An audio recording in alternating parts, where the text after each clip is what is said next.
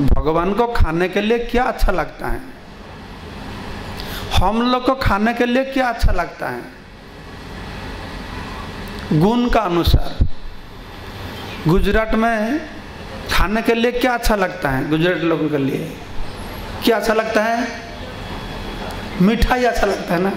इतना मीठा अच्छा लगता है, दाल में भी वो लोग शक्कर डाल देते हैं। और दाल पायस जैसा लगता है, पायस। देखो, हर आदमी का टेस्ट दूसरा दूसरा होता है। क्यों? मेरे को जो अच्छा लगता है, उनको अच्छा नहीं लगता है। उनको जो अच्छा लगता है, आपको अच्छा नहीं लगता है। क्यों?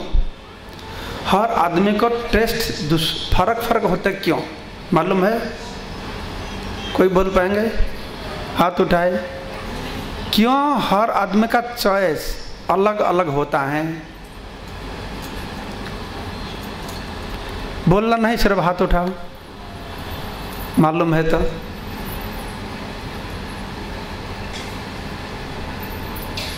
गोविंदा, सुंदर गोविंदा। हाँ।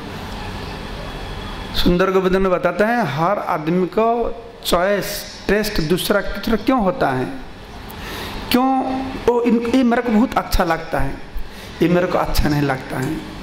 ये होता है गुण का प्रभाव का अनुसार। सत्य गुण का प्रभाव जिसका अच्छा है, इसका ऊपर पड़ा है सत्य गुण उनका साग, सब्ज़ी, मिल्क हाँ घी, ये अच्छा लगेगा। और जिनका पर रजोगुण का प्रभाव ज़्यादा है, वो अच्छा नहीं लगेगा। उनका कौड़ा अच्छा लगेगा, तिखा अच्छा लगेगा, मांस मांस, मर्द इसको अच्छा लगा। बहुत सुंदर गंध है हाँ। गुण का प्रभाव है। और जो तामसिक लोग होते हैं, वो लोग खीरी पूरी दो अच्छा नहीं लगेगा। क्या अच्छा लगेगा? तीन दिन, चार दिन हो गया, जो सड़ा हुआ भात है, वो, आह, की सुंदर गंध है। हाँ? और सूखा हुआ जो मछली है, सूखा मछली, गुजरात में तो खाते नहीं। सूखा हुआ मछली है ना? हाँ?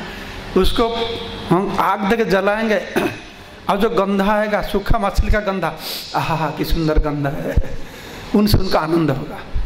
तो हर लोगों का क्या टेस्टी है?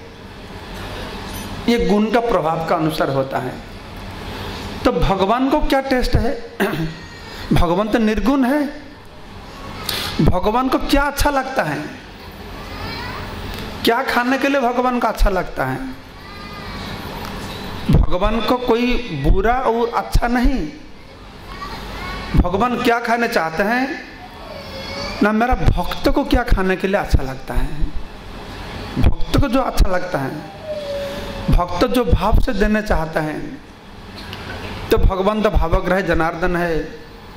तो भगवान को कोई चीज़ खाने के लिए बहुत इच्छा होता है।